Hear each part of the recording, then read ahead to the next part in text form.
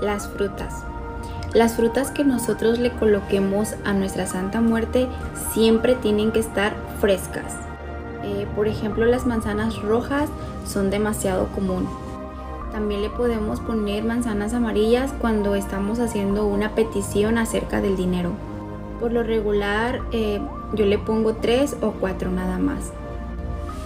Toda la fruta que tú desees ponerle en el altar eh, te va a ayudar para tratar de evitar envidias o malas energías.